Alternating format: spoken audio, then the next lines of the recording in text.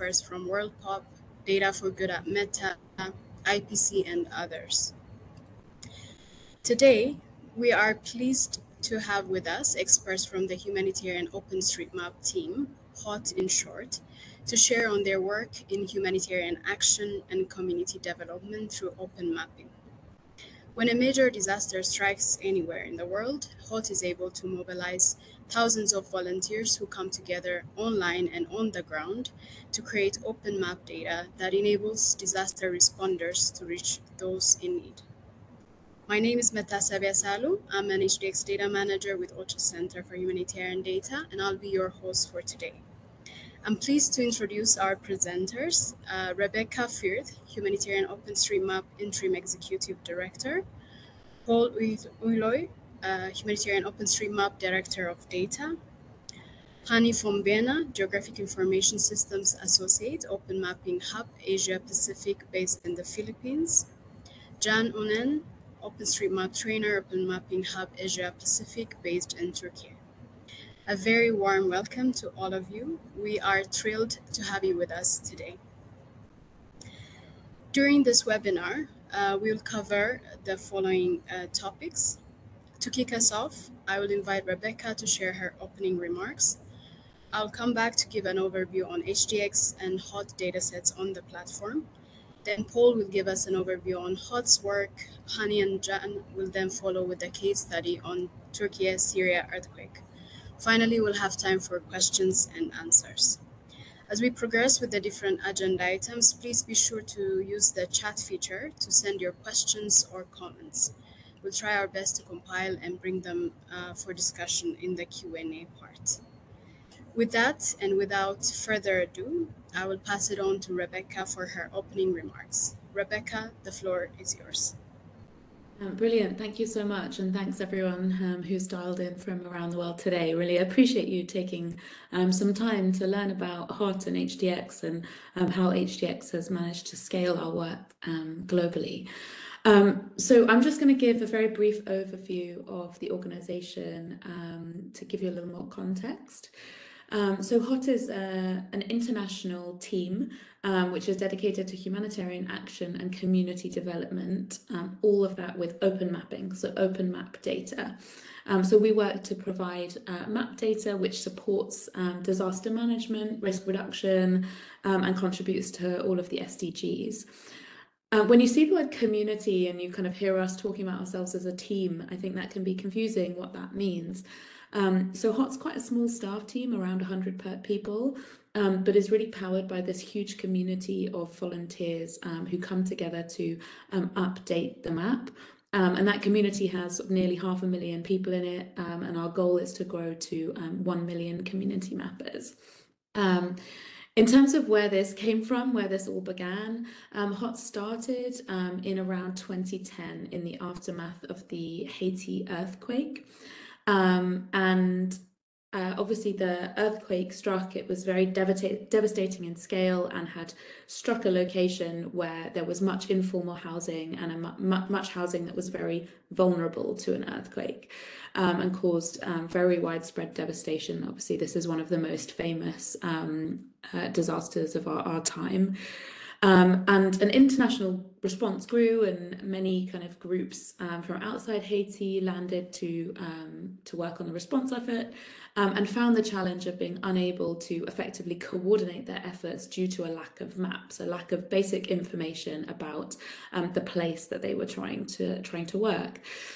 Um, so HOT was kind of founded by a group of volunteers who came together to create that map. They used satellite imagery to draw buildings and roads um, and produce a map which was actually um, used by responders to the earthquake.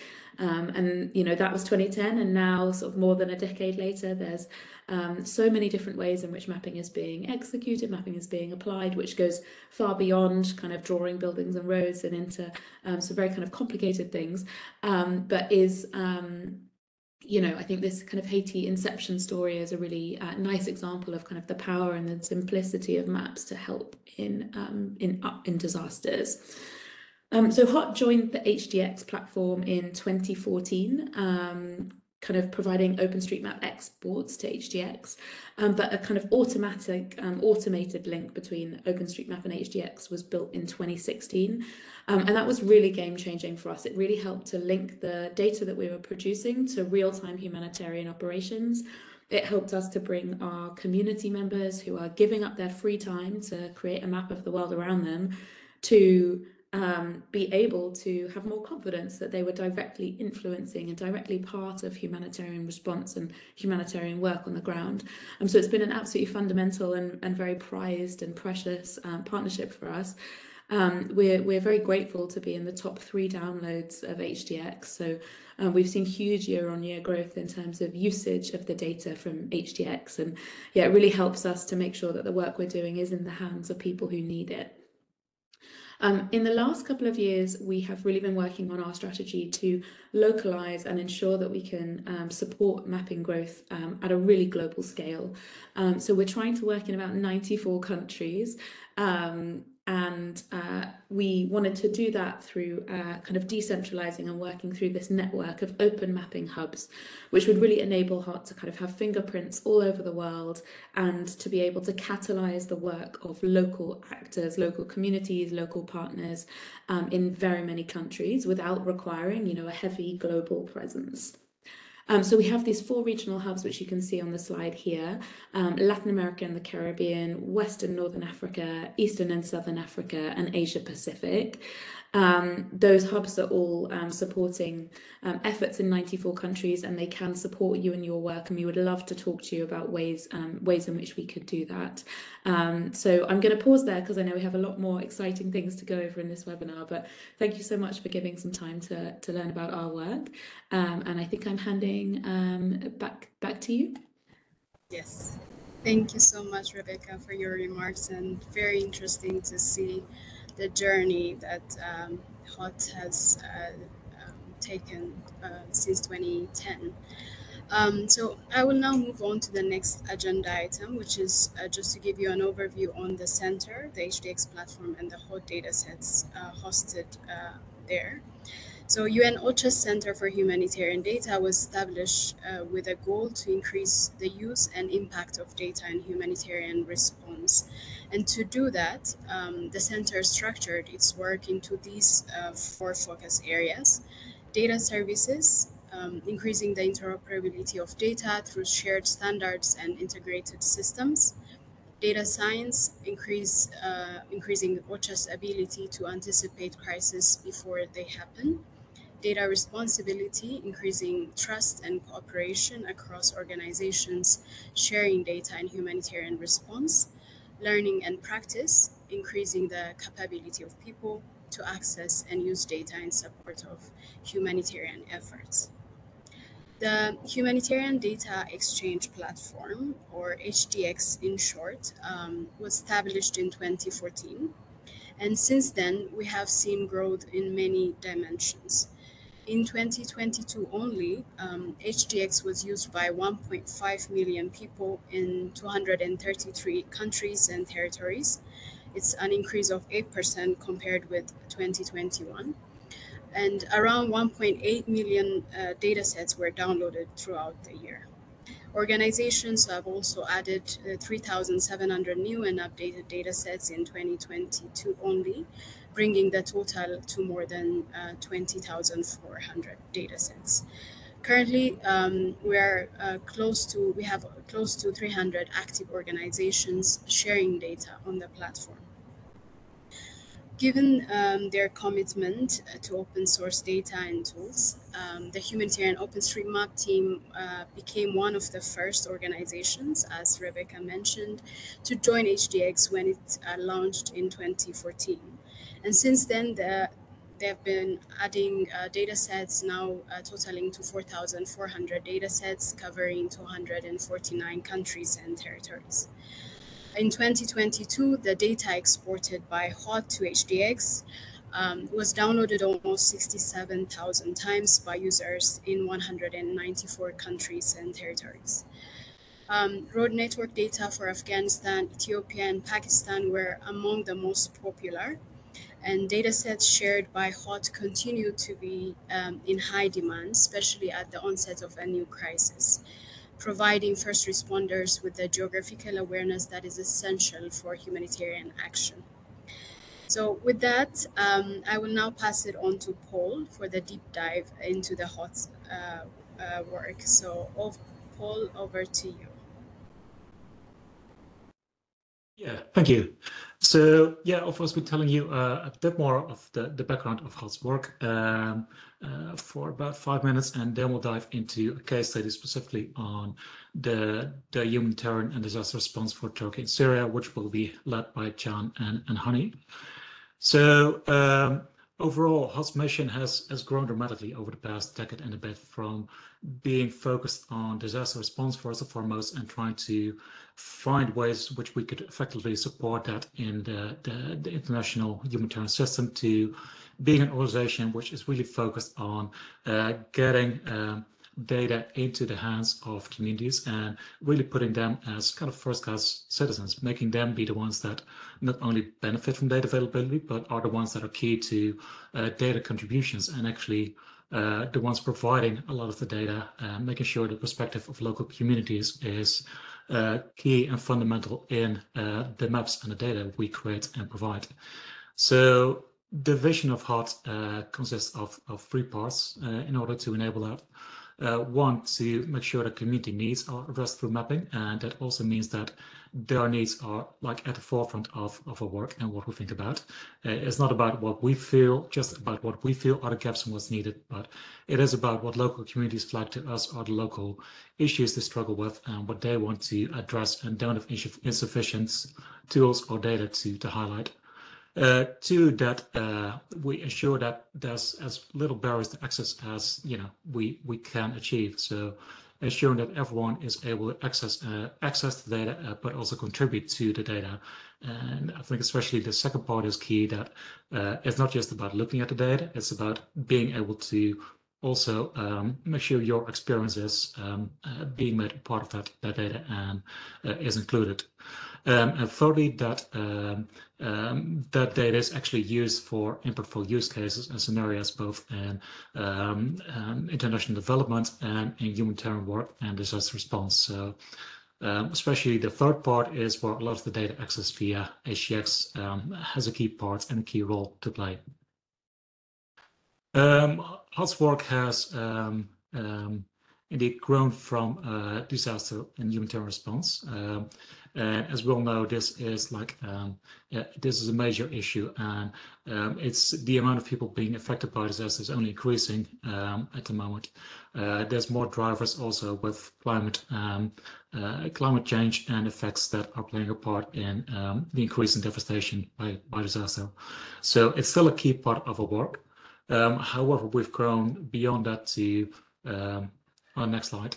Um, if you look at the overall work, has grown from just being focused on and starting out from disaster to um, five impact areas, as we call them, which are basically general buckets of work that we want to focus ourselves on um, and address key use cases in with disaster and climate, sustainable cities and communities. So we also have a lot of work in urban settings looking at um, uh, the effects of organization, access to education, health, um, uh, public transport, etc. Uh, public health in and of itself. Um, a lot of our work is done via also the Map, Missing Maps Consortium, which is a collaboration with the American British Red Cross, um, MSF, Médecins Sans Frontières, and other partners in that space. Displacement and safe migration, um, and gender equality. And all of the work is done on the, the principles of open data and OpenStreetMap. Um, on the next slide. I think a lot of you will be familiar with the, the general concept, but uh, this is an open map of the world um, what data you can just look at and inspect, uh, but can actually access, utilize in your own applications and data, etc. And this is an open contribution model akin to, to Wikipedia. Uh, so everyone is able to contribute um, data. And you, as you'll see, and probably also experienced, uh, uh, a major benefit is, is, that data is available anywhere there is um, a data need, people willing to contribute, etc. So high quality data isn't limited to the Western world, but is also available in Africa, Asia Pacific, South and Central America, Oceania, etc. Um, how does this work? Um, there's a number of ways to contribute to OpenStreetMap. Um, on the one hand, there's a lot of use of remote sensing, uh, working on satellite imagery to uh, procure the latest in, in terms of like um, uh, satellite imagery. Um, there's an increasing use of UAV and drone imagery um, and tracing that using various tools. There's also an increasing um, angle of automation there and pulling in AI um, and ML-derived data sources, so uh, feature detection via AI machine learning. Um, if you click through on the slide once more, some more things are going to pop up. Yeah, uh, another part of this, of course, is that um, you're only able to learn so much via remote sensing. You can see where there's the buildings and the roads, but you, that does not tell you what is the name of the road or that health facility or um, how many staff and beds are actually available at that health facility, etc. So the really powerful thing here um, starts to appear when you combine remote sensing with local knowledge and uh, mobile mapping and are really able to leverage uh, the types of data that you can only know when you're actually present and living in um, certain locations. And all in all, this combines to um, uh, create um, an incredibly powerful source of, of ground truth community contributed data in OpenStreetMap. Um, as Rebecca also just mentioned, uh, an increasing amount of work is done via the open mapping hubs on the next slide. Um, uh, and they're really at the forefront of HOT's work nowadays. So a lot of the work that we used to do from global teams with people like moving in and out of countries is now being done via regional hubs, um, which are much more embedded into local ecosystems and much better able to connect local NGOs, local government officials and decision makers um, and um, uh, get them to um, start leveraging more of the open data, the possibilities of open data. Um, and yeah, the overall goal is to ensure we get viable community organizations across the globe and um, really be a, a, catalyst and an inspiration for the whole the whole open data and open mapping movement. So with that, handing it over to Can to talk more specifically about how we um, operated and worked in the, the Turkey and Syria response. Can. Thank you, thank you, Paul. And like, I'm also going to just hand it over to Hani quickly. Sorry about that to, to, to, to start talking about the um, data activities, um, and then I will take over. Sorry.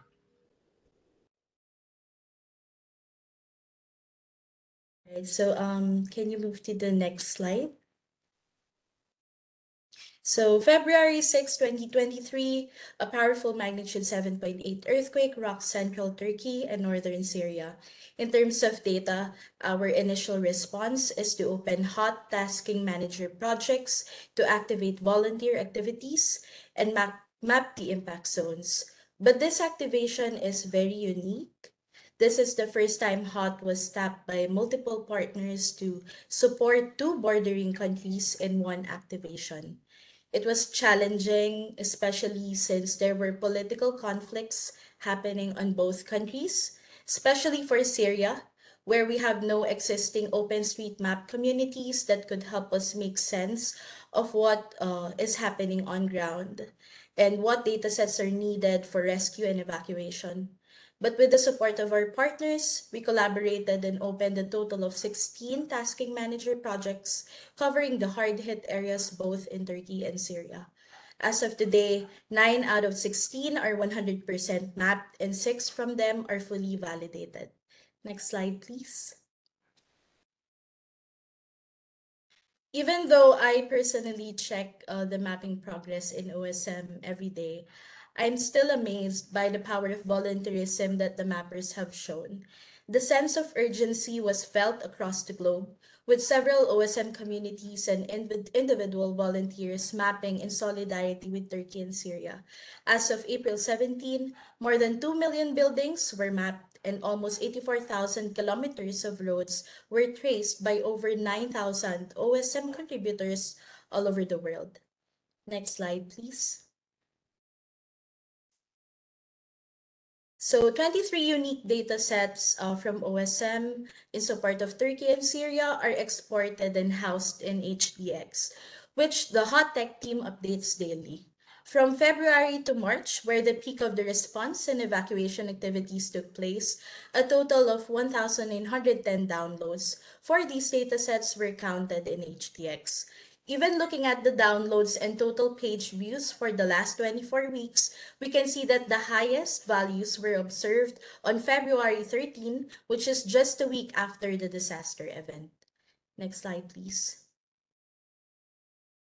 And looking at the download behavior of our OSM users, we can see that during the first week of the activation, building footprints, road networks, and populated places in Turkey are the top three downloaded datasets from HDX, all of which are baseline data. But when the data for the destroyed buildings in Turkey became available, it continuously appeared as the dataset with the most downloads, having more than 700 downloads by the end of March. Next slide, please. So these maps from several organizations prove that during the initial weeks of the activation, OSM was indeed used as baseline or exposure data with the building footprints and roads utilized in each of their own analysis. And when the data of the destroyed buildings became available in HDX, we saw multiple uses of the data in static and interactive maps. Later on, uh, we will be able to give a closer look of how these products were used on ground. So for a detailed discussion of the Turkey response, uh, let me call on Dr. Can Unen from the Open Mapping Hub Asia Pacific. Uh, thank you, thank you, Hani, and welcome uh, all of the attendees. So, like I see 114 people listening us. Uh, so, um, I'm going to uh, talk about a little bit about how that um, stories have evolved in Turkey on the ground, how that data uh, was used, how that data was used, that like how the data helped um, people on the ground, and also a couple of feedback from a couple of feedback and words from the, the, the, the, Turkish community. So my name is Can. I'm based in Izmir, Turkey. Uh, I'm living in a uh, unharmed and unaffected region of within Turkey, but um, I have um, been since uh, more than 10 years past has been a part of the Turkish OpenStreetMap community. So because of that, I was also heavily involved within the um, OpenStreetMap uh, mapping activation and mapping coordination within Turkey. So um, can we move on to the next slide?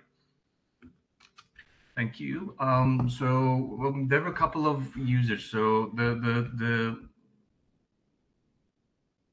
um, government organizations, the Search and Rescue Association, the Ministry of Inter Disaster and Emergency Management Agency, etc. So lots of the organizations in Turkey have their own data sets or their own internal data structures, etc. But um, in the field at the time of that urgency, it was not very easy for the field personnel, field staff to tap onto these kinds of resources. So the next thing was um, they were looking at is what, what, what other available open sources of data are there. So uh, we have seen lots of access and lots of use of OpenStreetMap data. We have seen that in the OpenStreetMap Turkish community channels, lots of um, requests on like how they can access that data, how those actors will be able to use that data. And the map that you see in, is, is, is one of those examples. So uh, with the Disaster and Emergency Management Presidency and Association, uh, also collaborating with the Search and Rescue Association of Turkey, they, they, they needed situation maps because like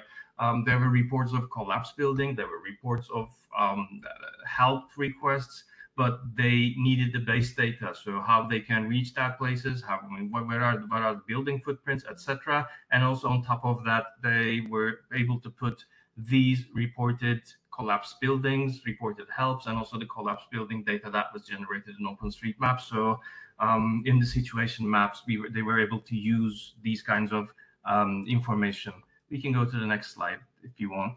Um, again, AKUT is the Disaster uh, Search and Rescue Association. Uh, again, you are seeing, again, use of um, OpenStreetMap data, base data, and also the destroyed building data sets in their situation maps. Um, similarly, when the Ministry of Health doctors uh, were deployed in the area, um, there were instances that they were not able to find where they where, where to go to, to access um, because they were not natives of those cities. They were they were they don't they don't know where is where, and um, they, they, they just wanted to just uh, use the mobile navigation apps that conveniently we are using every day, but because of coverage issues, because of other issues, they were not able to have uh, signal and service. And um, we have seen that um, mobile apps, uh, which are having offline data um, and working with OpenStreetMap data, were able to help um, the, the, the first responders also navigate within the cities. Uh, next slide, please. Um, so this is again a video that's available in the YouTube channel. And after uh, Hani takes over again, I'm going to share the links of those videos for you to also able to access through Humanitarian OpenStreetMap team's YouTube channel.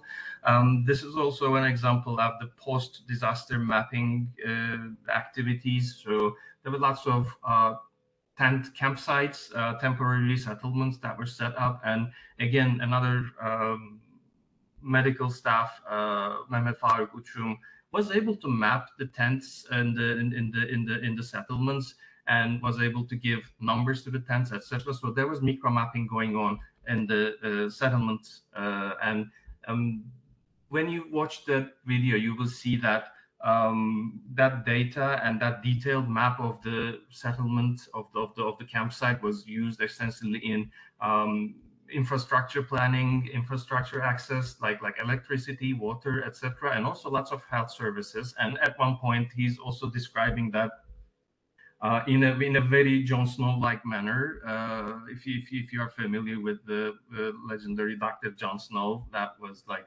um, was able to uh, map the cholera outbreak in London. They were able to pinpoint and locate the outbreaks within the campsite as well by using that map. So I think that's a very also um, exciting and inspiring story going on there. So ne next slide, please. So we have also asked uh, the, the, the Turkish OpenStreetMap community and lots of the um, volunteer mappers within the Turkish OpenStreetMap community and say, how did you verify the accuracy and usability of the OpenStreetMap data you were using?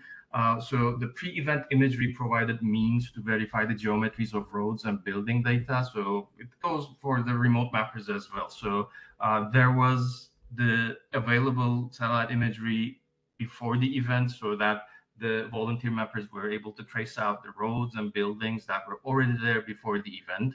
And um, after some time, because of the cloud coverage, because of the the, the, the, the timelines of the satellite orbits, etc., um, post-event imagery have started to come. So those imagery were used to verify the, the, the destroyed and collapsed buildings um, within the area. And where available, openly accessible street level imagery, uh, it might be KartaView, it might be Mapillary, etc. So there were some volunteers from uh, sometimes were able to capture the street level imagery to get a picture of what's happening on the ground. And also like post-event imagery is also um, including some of the drone operators volunteering and, and, and submitting drone imagery uh, for, for certain regions as well. Next slide, please.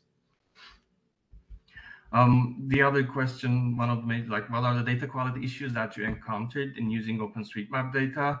Um, so uh, because of the vast area, uh, the first, the initial mapping was started using the AI assisted mapping especially on dense urban settings, the AI-assisted mapping like led to some inaccuracies because if the buildings were side to side, um, it was having um, hard time and inaccuracies in identifying the individual buildings. So there were a little bit um, some inaccuracies in the urban, dense urban settings. And sometimes the AI assisted mapping was also um, suggesting the road classifications, etc., uh, and wrong. And um, although the OpenStreetMap editors were just warning the users about these potential issues, um, there were lots of um, volunteers that are newly just meeting OpenStreetMap, so they were not very experienced. So uh, there were lots of misinterpretation of OpenStreetMap editor warnings in there, so it also affected the data quality. And then um, there were a couple of passes of validation uh, efforts with the validation team and validation trainees of Humanitarian OpenStreetMap team in order to just correct these issues and also improve the data. And also the incomplete damage data, uh, I will also talk about a little bit about that. Um, because of the limited coverage of the post-disaster imagery, I mean, the, the, the destroyed building data sets might not be reflecting potentially is not reflecting the entire region because it is just generated with the imagery that's only available uh, and mainly in the uh, main uh, larger major settlements. Next, please. Um, what advice would you give to someone who is interested in using OpenStreetMap for emergency response efforts? Is like complete the map data before even any emergency strikes. So, like, I just want to emphasize the um, like like like um, anticipatory action there. So um, there there was a huge surge of like data requests, lots of questions, lots of needs, lots of uh, requests for mapping, etc. But if it was just if it was before something like that happened, and if the if the if the map data, if the if the base was um, more or less complete before that event happened, just after the event, like it would have been possible to have the up-to-date and complete building and road footprints for that region. But uh, because the data was still incomplete, like there was there was some time that was required to also to generate the base data and the buildings and roads. So the best uh, advice would be that like within the anticipatory action, just complete the map if you can before any emergency strikes. Next, please. Um, what were the other sources of data collaboration during the activation? So Yer Çizenler, an NGO in Turkey and part of the Turkish OpenStreetMap community, has just set up um, uh, the communication channels immediately, both internally and also internationally. And there was an international coordination group that was going on there. Lots of uh, actors within the humanitarian um, uh, within the humanitarian sector were there and collaborating and even like other sources of data sets, even other other data that's in between, like like like like the organizations um, were shared, and and and the organizations were able to coordinate through those communication channels. And um, there were also other sources of data because of licensing issues. It was not um, it was not possible to import that data or reflect that data in OpenStreetMap uh, because the licenses were incompatible. So, but, but, the data is open. The data is like we can share the data, but like the data cannot be represented in OpenStreetMap. So that coordination group and that coordination activities were also like covering that part of um, the, that data data sets as well. So uh, we can go to the next slide. And before passing again to the, the what was what was the what was happening in Syria, like uh, last question was how do you think OpenStreetMap data could be used in future emergency response efforts and how can OpenStreetMap data be improved to be used during the recovery efforts? Like if the base map is kept accurate and up to date by the community and other local and regional actors, volunteer mapping efforts can be more focused on the physical situation on the ground instead of just playing catch up with uh, constantly changing environment and constantly changing situation because by the time that you are completing some sort of base data um, lots of things have changed are changing on the ground. And uh, because of this latencies like the, the, the having complete and up-to-date data sets uh, we're not always might not always be possible to be available just on time in a timely manner and lots of things happening in an emergency situation like that. So um, these are the remarks and stories that we got from um, the Turkish community, Turkish open OpenStreetMap community. And I think I'll right now just pass to Paul to talk about a little bit about Syria as well. Thank you. Yeah, Can. Yeah, just a, a brief word on Syria. Um, obviously, this this was a quite a complicated disaster overall, with um, the impacts being split between Turkey, which is a, a relatively stable environment, uh, and Syria, which is um, and has for some time been essentially a conflict and war zone. Um, so one aspect I want to highlight in Syria is also how we um, are looking at and working on, on data protection and responsibility issues. So uh, we have developed um, a framework on and a data quality data responsibility assessment internally that we are applying to um, all these um, disaster response efforts alongside with all our other projects, uh, which means that we are looking at a time on the also the potential um, uh, side effects and um, negative impacts of generating and collecting additional data on on populations and people affected.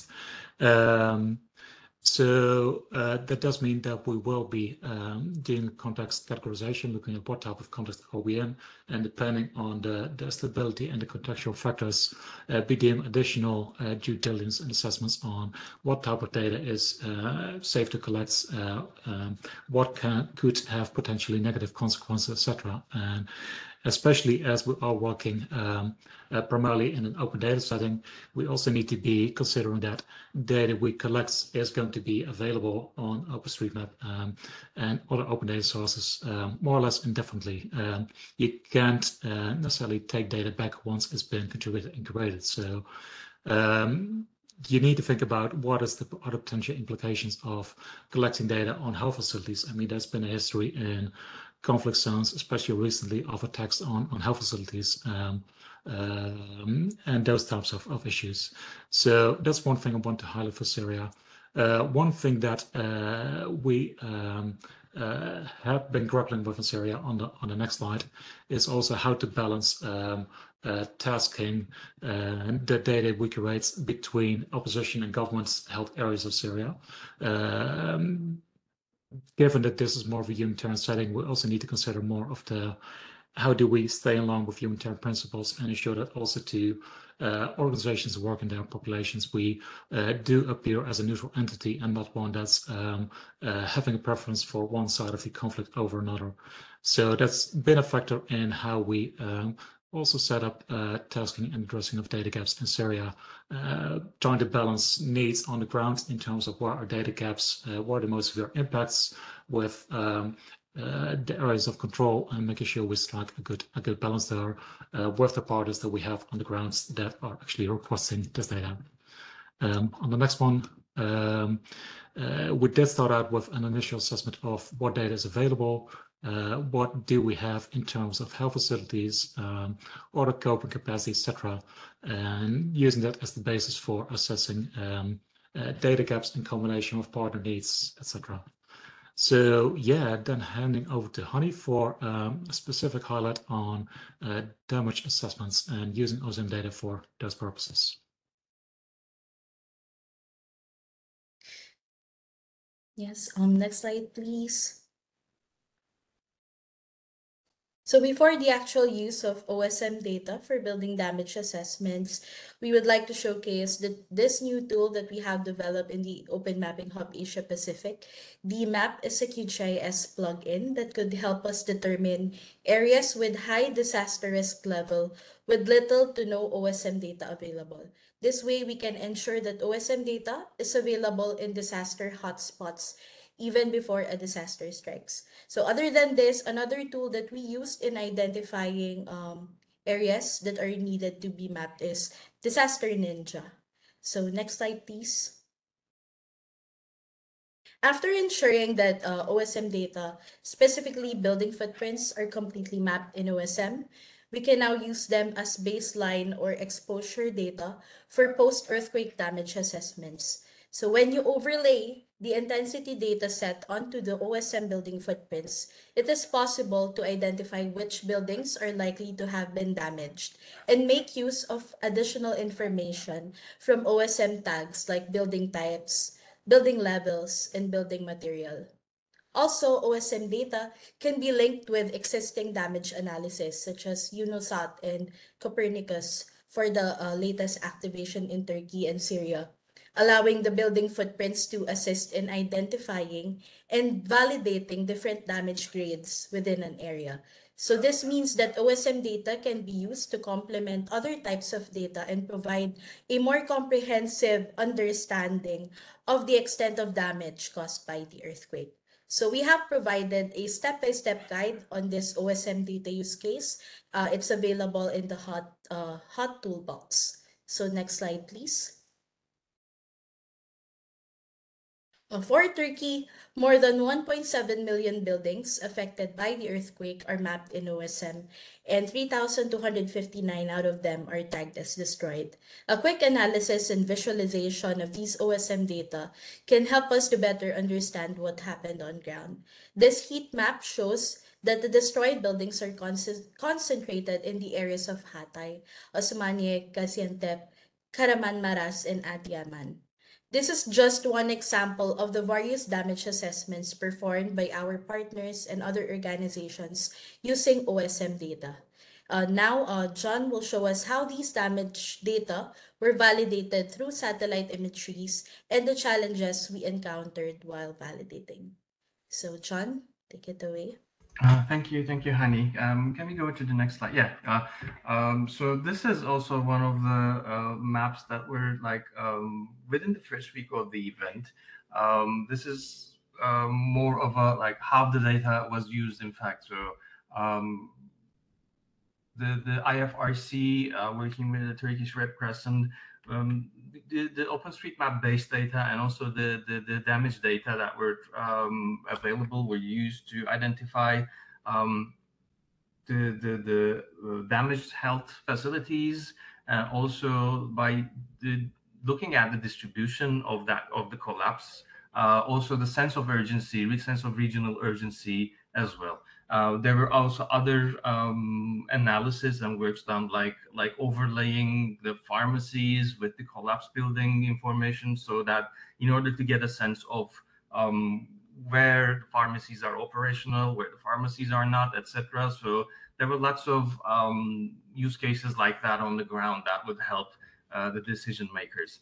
But um, again, I just wanted to emphasize the collapsed building data, which was the most downloaded, but again, I also want to emphasize there were some limitations and there were some hardships when uh, that data uh, was generated. So within the next slide, I can um, touch uh, on a couple of things. So, so, I already mentioned a bit like the the, the post image, post post disaster imagery, and the post disaster imagery was not immediately available because at the time of the earthquake, it was heavy cloud coverage. There was snowing in the region, uh, in most of the region. So for two or three days the cloud coverage didn't go so we were not able to or nobody was able to get um, a, post disaster imagery regarding the region so again that was also one of the blockers that was also one of the issues that were faced globally that like we are not able to get a picture. We are not able to see the, the, see the general picture of what's happening on the ground. And but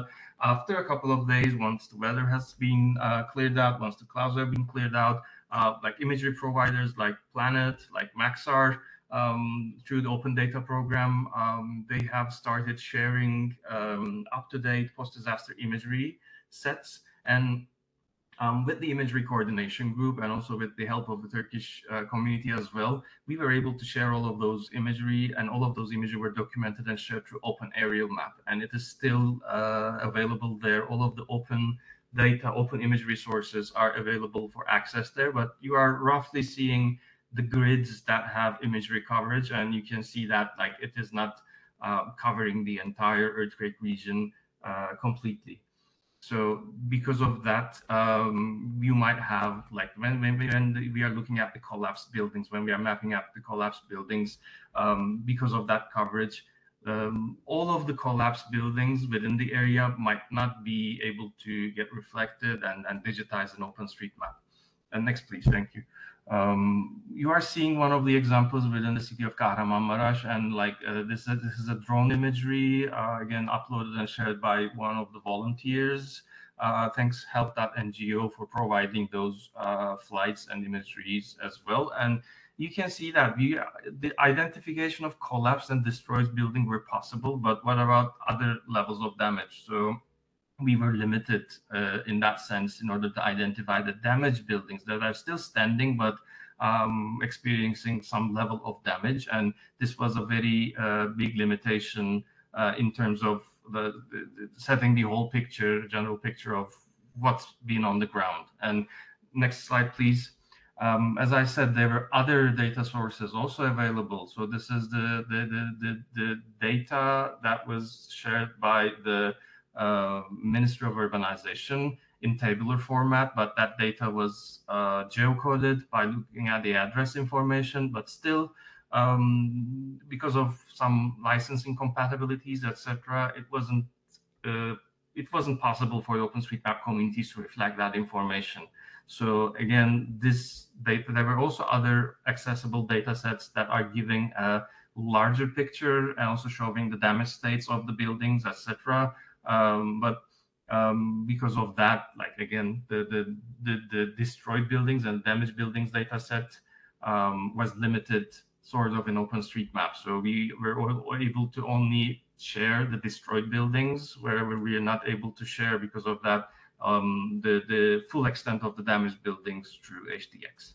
So I, yeah, I just wanted to also like address these issues when we were talking about the uh, most downloaded data sets of the HDX. And um, this is the end of my update and, and, and address as well.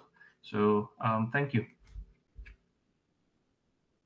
Thank you so much, Can, and very impressive work uh, that HOT is doing along with open mapping hubs on uh, disaster mapping to help response activities. And also very interesting to hear about the different engagements and collaborations with local actors to validate and make the products more and more useful for uh, use by humanitarian and other actors. So thank you for uh, sharing uh, those details with us, Hani, Paul, and uh, Can. I will now open the floor for questions and answers. Um, once again, to our audience, if you have a, any questions, uh, please use the chat feature to send it in. Um, to get us started, um, I have a question. Um, so in the past, um, as you've mentioned early on, uh, Rebecca, in your remarks, uh, with the earthquake in Haiti, um, and now all the way to today with uh, Turkey and Syria earthquake, um, I want to ask how has the role um, of uh, open mapping and community engagement evolved in the humanitarian response uh, space? Um, maybe over to you, Rebecca, on, on, that.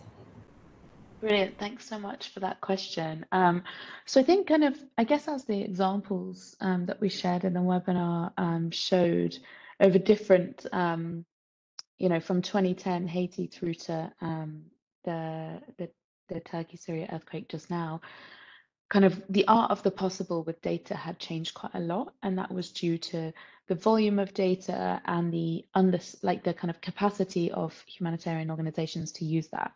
Um, so I think kind of the biggest change is, you know, OSM is now you know considered best practice and widely used in um, humanitarian response by all major players um, and that kind of mindset shift and awareness that OSM is actually a really quality data source. It has the right kind of, um, you know, that it it's the the best um, data source to use has has been a massive shift that's happened over that time.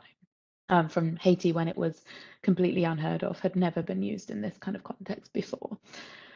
Um, I think the second piece there, and like this is something that we take really seriously in our role at HOT, is you know, if the expectation is that it is there and it is used, that we're there, then we also need to be able to reliably mobilize the community to produce the data that's needed. And obviously, you know, contributing to major disasters is something that's really motivating for people. There's a, a lot of coverage in the media of major disasters, and um, this is something that people really want to kind of contribute to. Um, but you know, it's important that we make sure that we're channeling that effort making sure that we're ensuring that the data quality is high, that the validation of the data is matching um, the kind of production of the data and things like that, which is really tough. Um, and then I think the final thing and like what we're looking to moving forward is encouraging increasing local ownership of the disaster response itself. Um, this is a tough thing to do. Often, you know, the definition of a disaster is that it's something that overwhelms local capacity. And so um, that is something that's really complicated. But I think Can and Hani's um, example that they shared of the difference between Turkey and Syria and the response that was possible there is a really good example of kind of Turkey where there was a local community that was really strong, that was ready, that was able to um, kind of help translate the response locally, help to run and maintain local partnerships.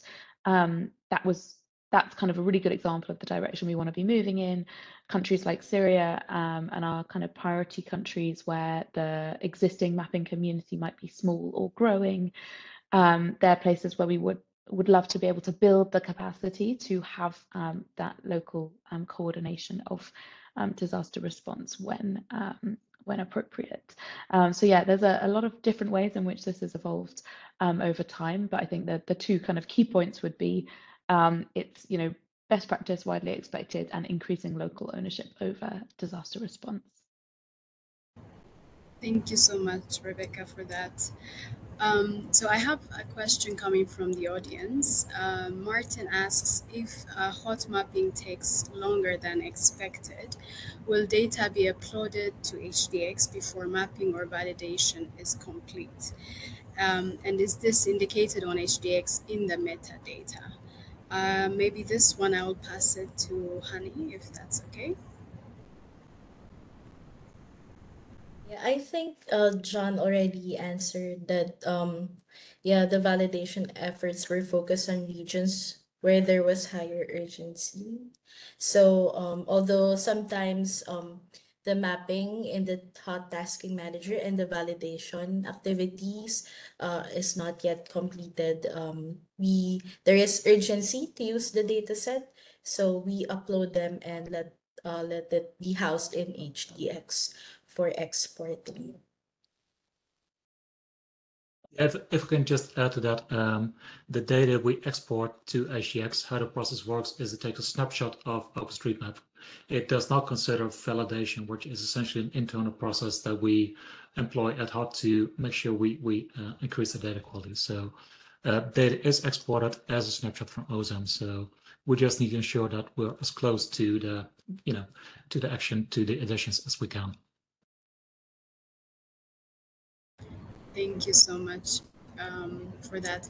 So um, the next question I have from Arnold, um, does HOT also engage in discussions with authorities in their target countries to make more data available um, as open data uh, data sets for integration in OSM and HDX? Um, um, I'm not sure if, if you got that question, uh, but I'm happy to repeat. Uh, maybe this I'll pass it to Rebecca, that's okay. Um, I'm so sorry. I actually couldn't hear that um, particularly clearly. Is there? Could you either repeat, or is there somewhere I could read that? Sure, um, I can repeat. So the question is, uh, does HOT also engage in dis uh, discussions with authorities in their target countries? Um, to make more data available maybe let's let's uh, yeah um yeah so we sort of have two angles for that i guess. One is kind of um, partnership engagement with local authorities or, or um, national governments. Um, that does happen in some contexts depending on what we're mapping um, and um, the goals of certain projects. Um, there's some kind of governments for example which have um, really implemented OSM in a very thoughtful um, and intensive way as part of their disaster management, um, like the Indonesian National Disaster Management um, Agency. Um, and so there are some examples where kind of officials, official um, government groups have really taken this up. Um, there are also, I think, kind of other examples of where, as we move, the data kind of becomes is useful and therefore becomes used, and that's um, kind of potentially more reactive, like responding to the event as it happens, rather than kind of um, you know a long-term um, strategic um, engagement.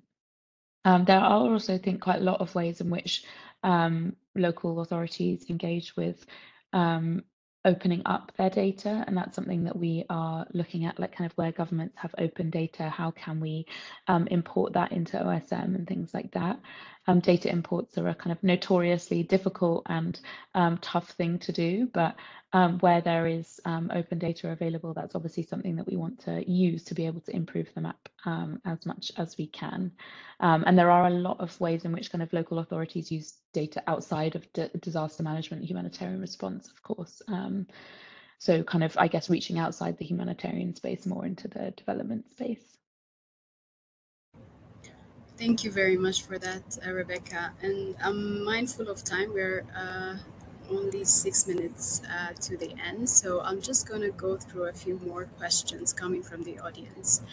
Um, maybe to touch on the quality assurance, Paul. Um, there are quite a number of questions on that. So um, one is from uh, Rodabe. Um, so asking about uh, how you deal with uh, data quality, because uh, as you mentioned, data is coming from uh, volunteers and uh, different uh, data literacy level and um, um, different understanding of the platform itself. So uh, how do you deal with that? Maybe if you can um, go back to like the process of uh, validation and quality assurance, and then uh, speak to that. over to you, Paul. Yeah, um, there's a, there's a number of different aspects and layers to that.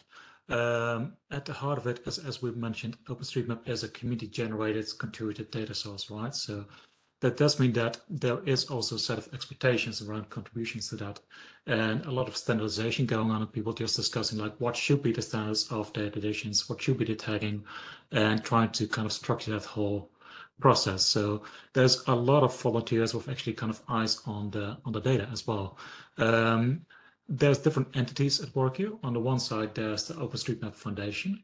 Uh, there's a, a, data working group there that keeps active track of contributions, is looking for issues in data quality and data licensing and stuff like that.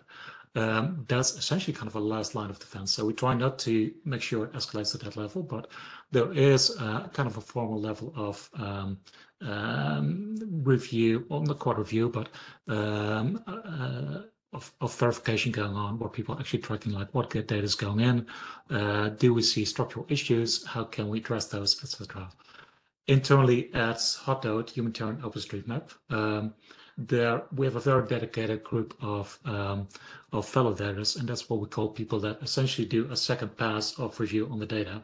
So the first pass is people actually contributing data via the Tasking Manager and remote sensing platforms. So Tasking Manager is the name of the product that um, uh, mappers actually engage with enter um, where they pick a square, an area to map, they add buildings there, but then it goes to a second pass of verification uh, via the validators. Um, so we pick up a lot of data quality issues in that process. And at the end of the day, there's also a third pass, which tries to look at the general area, like do roads connect well? Um, uh, are we able to deliver um, usable data that can be used for logistics and routing and etc. Um, however, yeah, there, there is always the possibility of things slipping through or uh, people making maybe deliberate mistakes or vandalism, etc. Uh, there's a lot of also at the end of the day, it is a community process, right? So uh, there's a lot of people that try to uh, be mindful and cognizant of, of errors and things slipping through and try to correct those. Um, and as soon as issues are noted, they're often quite fast um, in fixing it up. Uh, there's a lot of um, also scientific literature that compares the quality of OpenStreetMap data to closed and proprietary data sources. And in general, it compares uh, very well uh, because of just the high level of uh, scrutiny that's on the overall um, on the data source as a whole. Thank you so much, Paul. I think that uh, really is useful. Um, so maybe this one I will uh, pass it to uh, Can. Um, and I think it's um, related to the Turkey-Syria uh, crisis. So the question from Alexander is, uh, do you uh, know a system or systematically which are the hotspots of um, lacking coverage or updated data? Um, maybe over to you, Can. Is there a systematic way of uh, identifying the hotspots that are uh, lacking um, data? Um, so, so let me also just try to try to elaborate on that. Um, uh, the again, it, it really depends on the, the, the actors and also the volunteers that are on the ground. So um, you can follow things through news, etc. But if there's no specific request or if there's no specific activity from the ground to coordinate with, like it is sometimes a little bit harder to identify uh, going beyond like what's there, what, what what's already there on the ground. But in order to just identify these weak spots and identify these needs like like it, it, it heavily relies on the community that is um, working with the data and, and collaborating and, and contributing to the data also to identify there so um, without that connection or without a deep local conne- connection and context, it would be a little bit hard to identify those gaps. Just one thing that I'd, Yeah. I'd like to add on that, and also to data quality, by the way. Um, an area of focus for us is to use more um, also automated ways of both tracking data quality and assigning metrics to that, so we can identify hotspots in bad and good data quality better. Uh, that also means that we can use indicators from other data sources to identify where there's gaps in OpenStreetMap data. So we can use uh, things like uh, population statistics, uh, maybe government data sets, etc., as well to figure out where there's gaps in, in data. One um, snag of that is that a lot of population statistics, like WorldPop, also use OpenStreetMap data as an input again. So you do risk comparing OSM data to, to OSM data to some extent. Um, but we are trying to, or working to create a lot more kind of um, automatic tooling and data quality checks to that end. Great. Thank you so much, Paul. Um, I know we are uh, on time and we may uh, go over like one or two minutes. Um, I just want to give you that last chance to maybe talk uh, about upcoming projects or initiatives that uh, HOT is working on and how can individuals and organizations get involved um, in the mapping efforts. So maybe I'll give this to Hani. Yeah, just um in relation to the OSM data gaps that John and Paul uh, discussed, uh, the Asia Pacific Hub has developed a QGIS plugin that compares uh, OSM data completeness using Microsoft AI buildings as the reference layer. And we have also used uh, disaster risk layers to show highly um, high disaster risk areas with high uh, OSM data gaps or need for um, mapping activities. So this can uh, you can check it out the repository from in GitHub. I pasted it on the chat box. And also please watch out. We will have a virtual talk about this plugin in FOSS4G. Thank you so much.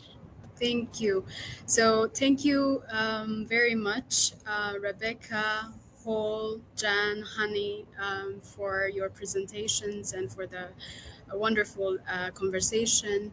Um, and thank you for uh, our audience for joining us uh, in this uh, dataset deep dive webinar.